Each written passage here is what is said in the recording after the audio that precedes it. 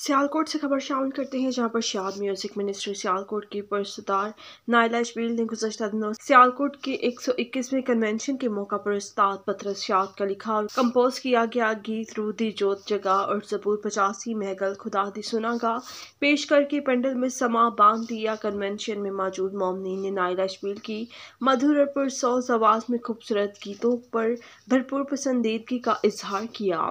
इस मौका पर हारमोनियम पर उस्ताद इशबील शाद साथ गिटारिस्ट शालीम खोखर, ढोलक पर आमिर न्याज और कीबोर्ड पर शहजाद बेंजमन ने अपने फ़न का शानदार मुजाहरा किया।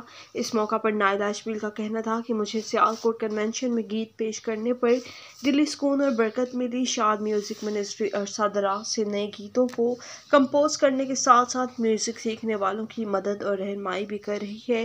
रवा साल भी हमेशा की तरह पाकिस्तान के मुख्तलिफ़ शहरों के अलावा दुनिया भर से बड़ी तादाद में मसीही मोमिन ने सियालकोट में शिरकत करके बरक़ात और फयाज हासिल किए।